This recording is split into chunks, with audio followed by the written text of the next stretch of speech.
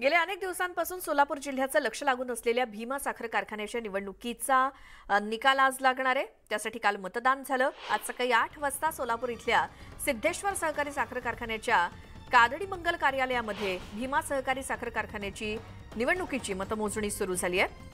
भीमा सहकारी साखर कारखान्याचे सध्याचे अध्यक्ष खासदार धनंजय महाडिक यांची प्रतिष्ठा पडायला लागली आणि त्यांच्या विरोधात भीमा बचाव परिवर्तन पॅनलकडून माजी आमदार राजन पाटील यांनी ताकद लावली.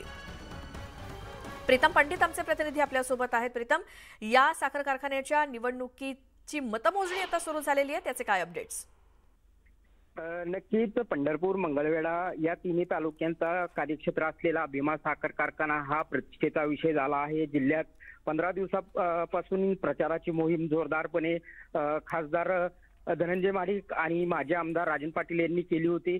मात्र काल सभासदांनी मतदान करून आपले मतदान नोंदवले आहे. आज सकाळपासूनच काळदी या मंगल कार्यालयात मतमोजणीला सुरुवात झाली आहे. ही मतमोजणी चार वाजेपर्यंत चालण्याची शक्यता आहे.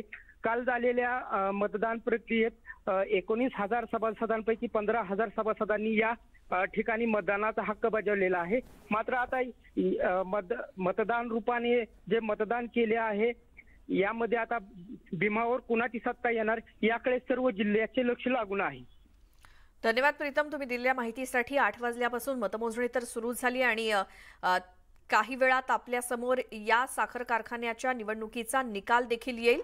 त्यामुळे धनंजय महाडिक की राजन पाटील याचा फैसला आपल्याला थोड्या वेळात कळेलच. दापोलीतलं रिसॉर्ट हे लवकरच पाडण्यात येणार आहे आणि यासंबंधीच्या निविदा आज निघणार असल्याची माहिती किरीट सोमय्या यांनी दिली. भ्रष्टाचाराचं स्मारक लवकरच जमीनदोस्त होणार असल्याचा टोला किरीट सोमय्या